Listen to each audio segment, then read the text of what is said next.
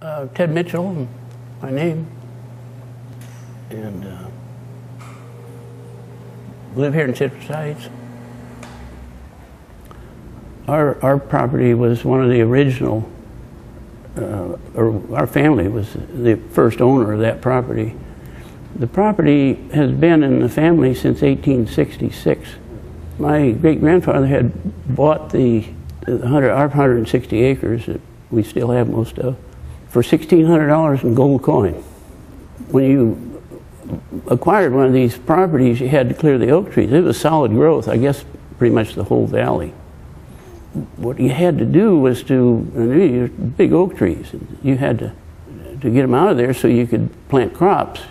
And all of these fields were cleared by hand.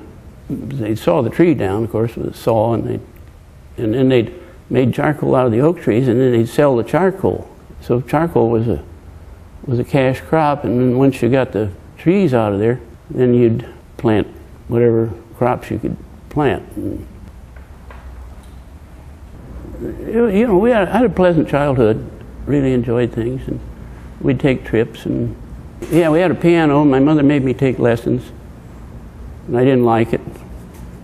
I was supposed to practice, and I'd tell the teacher I'd practiced, and she found out I didn't. I'd whap my fingers with a ruler, and we didn't have a lot of leisure time, and so you did what you had to do. And most of the time was during the Depression. There was a lot of people, a lot of work. We had 80 acres of grapes, and uh, took a lot of work. And I had to get home after school, either milk cows or pick grapes or whatever we were doing. There's very little development really took place uh, up until uh, early 50s, and then from then on, it's like it is. It started like it is now. Well, the county, as you know, is a big county, and the um, talent and skills the county employees had were spread pretty thin. And it included things like police and, and just even the planning. They were trying to incorporate a city, I think, as far back as like mid 20s sometime. When, when they finally got uh, enough support to incorporate the city, they, they had a, a real battle with the county because the county didn't want to lose the territory, and they finally got uh, got it through so that they could incorporate, and then we we put up money and to help the, for the, the, incorporation.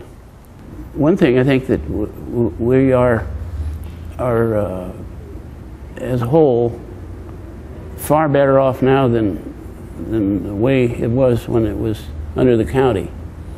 When it was county, uh, you were just in a piece of the puzzle and you weren't very important, and so you didn't get the attention that you might want or think you should deserve. So with the city, at least you can, the, the, the police and the city services are much more responsive than uh, in the county. And that's still true, I think, with the county as far as, because they're spread thin and they, they have to cover a lot of ground. I guess they probably do the best they can, but it's, uh, for our uh, reaction, it certainly is much better with the city